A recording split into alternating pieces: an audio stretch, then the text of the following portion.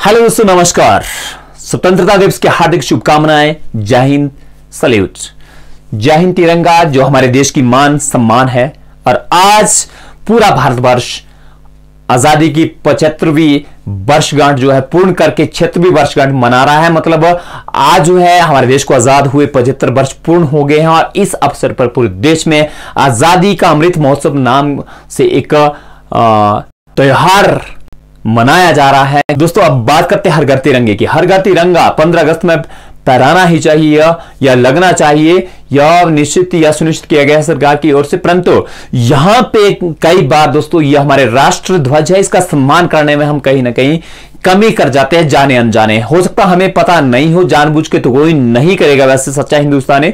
और जाने अनजाने हम इसका जो अपमान कर देते हैं, उसके बारे में हम आज थोड़ा आपको बताएँ कि तिरंगे का अपमान बिल्कुल भी बर्दाश्त नहीं है और संविधान में तिरंगे का अपमान करने वालों के लिए सख्त से सख्त सजा का प्रावधान है। तो आइए हम कुछ पॉइंट्स पे बात करते हैं जो कि इस तिरंगे के साथ नहीं किया जाता। इस देश की आन बान और शान के साथ बिल्कुल भी नहीं किया जाता है। चलिए उनके उन पॉइंट्स के बारे में आपको मैं बताता हूँ। दोस्तों हर घर तिरंगे अभियान के तहत मैंने देखा कि कई लोगों ने जो तिरंगा है वो आ, अपने घरों में तो लगाया है, परंतु झुका के लगाया हुआ है, झुका हुआ लगाया इस प्रकार से लटका के लगाया हुआ है, जो कि झंडे का अपमान है। झंडे को कभी भी झुकाया नहीं जाता है, झंडा केवल राजकीय शोक पे ही झुकता है, बिना राजकीय शोक के झंडा कभी भी नहीं झुकता है। दोस्तों, ये बात सभी आप गांठ बाँध ले कि तिरंगे का सम्मान करिए और इसे हमेशा ऊँचे स्थान पे रखिए। बिल्कुल स्टैंडिंग पोजिशन में तिरंगा होना चाहिए। तो जो तिरंगा है हमारे देश की शान है, इस तिरंगे को हम रुमाल नैपकिन या किसी ऐसे कपड़े के रूप में उपयोग नहीं कर सकते, जिस, जिसका हम अपने शरीर को साफ़ करने के लिए करते हैं, अपने हाथों को साफ़ करने के लिए करते हैं, अपने मुँह को साफ़ करने के लिए करते हैं। अगर कोई व्यक्ति तिरंगे का अपमान करते हुए या हाथ साफ़ करते हुए या मुँह साफ़ करते हुए या बालों को साफ़ करते हुए या रुमाल के रूप में या नैपकिन के रूप में इसका प्रयोग करते हुए पकड़ा जाता है तो उस स्थिति में संविधान में उसके लिए सजा का प्रावधान है। तो फ्रेंड्स, एक लेडीज़ मैंने रील्स में देखी थी जिसने तिरंगा हाथ में लहराया हुआ था और बंदे मातरम का गाना भी गा रही थी। साथ में उस, उसने अपनी जो साड़ी है वो तिरंगे के रूम में लपेटी हुई थी। तिरंगे से बिल्कुल ऊपर तक, नीचे से ऊपर तक उसने अपने आप को लपेटा था। ये सही बात है, हाथ में वो तिरंगा लहराए, देशभक्ति करे, देशभक्ति दिखाएँ। देशभक्ति दिखाना हर व्यक्ति के लिए ज़रूरी है, देशभक्त है। परंतु जाने अनजाने उन्होंने क्या किया था? जो उन्होंने साड़ी पहनी थी तिरंगे की, वो गलत है। क्योंकि तिरंगे को आपके जो कमर के नीचे का हिस्सा है, उसके नीचे नहीं पहना जाता है। ये याद रखे, रखिएगा हमेशा, या तिरंगे का अपमान होता है। दोस्तों, जानबूझकर हम इस तिरंगे को नीचे ज़मीन पे नहीं लगा सकते हैं, ना ही पानी में इसको भिगो सकते हैं या इससे खेल सकते हैं। अगर कोई जानबूझ के तिरंगे को नीचे मिट्टी में रगड़ता है या पानी में इस प्रकार से खेलता है, या मतलब इस तिरंगे का इस प्रकार का अपमान करता है तो उसे वो कानून में दंडनीय अपराध घोषित किया गया है। और सबसे बड़ी बात दोस्तों इस तिरंगे झंडे को ना हम अपनी गाड़ी में लपेट सकते हैं, ना किसी नाम में, ना रेलगाड़ी में कहीं भी इसको लपेट नहीं सकते हैं। और यह दंडनीय अपराध है।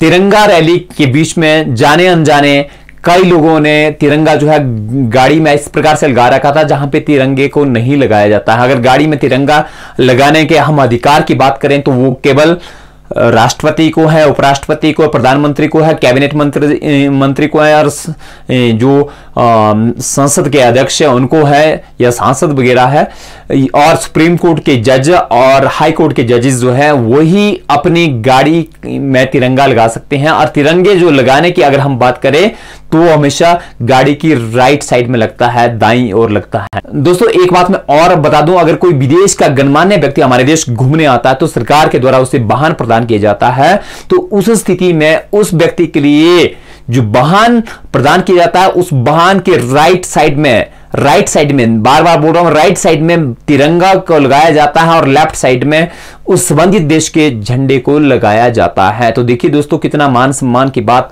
कितना महत्वपूर्ण यह तिरंगा हमारे लिए है और कितना रिस्पेक्ट इसको मिलना चाहिए।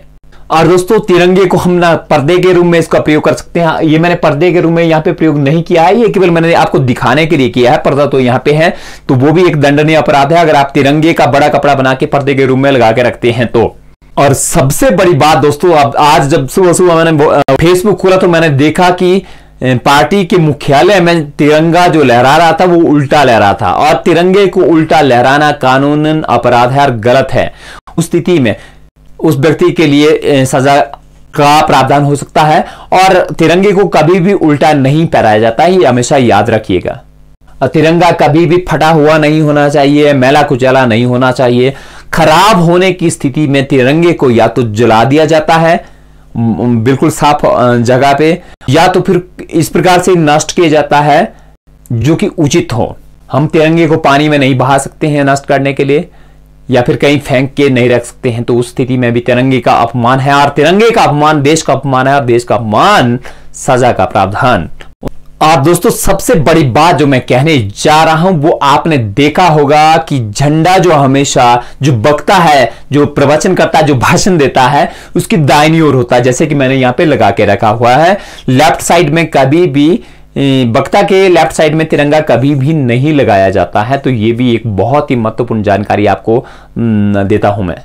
और सबसे महत्वपूर्ण जानकारी की बात करें तो दोस्तों वो है इन इसकी स्ट्रिप्स के बारे में। ये जो तिरंगा है, यह हमेशा तीन अनुपात दो में काटा जाता है। और इससे छोटा या लंबा तिरंगा नहीं बनता है। मतलब ये नहीं है कि आप लंबा बना सकते हैं, बड़ा बना सकते हैं, परंतु जो इसका अनुपात है, वो तीन अनुपात दो ही होता है। दोस्तों, आपने सुना होगा कि एक्चुअल में कई लोग जो है बहुत एक एक किलोमीटर लंबा तिरंगा लेके चले हुए हैं और कह रहे हैं कि हमने एक किलोमीटर लंबा तिरंगा जो न्यूज़ में आ रहा है, वो गलत बात है वैसे, क्योंकि एक्चुअल में इसका जो परिमाप है, जो इसका अनुपात है, उसी के अनुसार इसको काटा जाता है, जो नियमों में लिखा हुआ है। हालाँकि अब थोड़ा नियमों का उल्लंघन खुले में हो रहा है, क्योंकि आम लोगों को भी इसके बारे में पता नहीं है दोस्तों, कि वास्तव में तिरंगे का मान असमान क्या है। तो उनकी भी इस प्रकार से मैं ये नहीं कहता कि वो गलत है, वो जाने, अनजाने, वो गलतियाँ कर रहे हैं, परंतु फिर भी उनको जानकारी इसके बारे में होना ज़रूरी चाहिए। यहाँ पे थोड़ा सा स्पीच इस संबंध में सरकार के द्वारा भी निर्धारित की जानी चाहिए। जब हर घर तिरंगे की अगर हम बात करते हैं कि हर घर तिरंगा फहराना है तो तिरंगे को कैसा फहराना है और किस प्रकार से रखना है, वो सारी जानकारी जिस प्रकार से मैंने अभी आपको बताया, ये सरकार के द्वारा रखी जानी चाहिए थी। परंतु सरकार ने इस प्रकार से कोई भी काम नहीं किया और परिणाम स्वरूप क्या हो रहा है कि लोग जो है जाने अनजाने तिरंगे का अपमान कर रहे हैं, जो कि सही नहीं है। दोस्तों, इसलिए इस वीडियो को ज़्यादा से ज़्यादा शेयर करिए, अपने दोस्तों तक पहुंचाइए, अपने रिश्तेदारों तक पहुंचाइए, ताकि उन्हें पता हो कि देश का जो तिरंगा है, वो कितना मान सम्मान रखता है हमारे लिए, कितना ज़रूरी है। और इसका महत्व क्या है? ये हमारा राष्ट्रीय ध्वज है, ये कोई मज़ाक थोड़ी रुमाल है। रुमाल थोड़े है कोई जेब में डाल के चले या कोई गाड़ी में लपेट के रख रहा है और कोई गाड़ी के नीचे लगा रहा है? अरे भाई, ये हमारे देश की शान है, हमेशा ऊँचा रहता है। तो आपको भी दोस्तों, जय हिंद एक बार फिर से हार्दिक शुभकामनाएँ आपको पंद्रह अगस्त की या स्वतंत्रता दिवस की। नमस्कार।